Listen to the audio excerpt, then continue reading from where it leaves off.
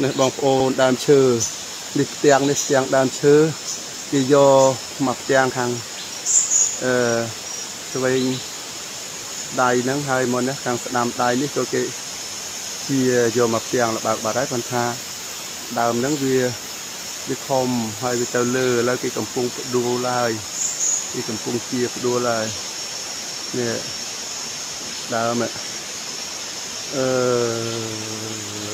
ព្រះ ព្រះធម្មជាតិអស់ហើយនោះអាឡើងក៏ហុងហុងនឹងនេះជាជាងឬអឺអើហើយដើមឈើធំធំបន្លាយពូជសាសអស់ហើយ